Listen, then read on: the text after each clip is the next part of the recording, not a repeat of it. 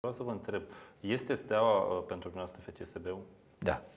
Dar pentru că este steaua, una singure. N-a retrogradat niciodată? Da, și, și, ei, ei au jucat în cupele europene datorită faptului că i-a chemat steaua. Și i-a chemat FCSB înainte. Păi nu. și CSA e nou înființată? Este tot E scandalul foarte ăsta. bine, să le dea Dumnezeu sănătate. Ce să vezi?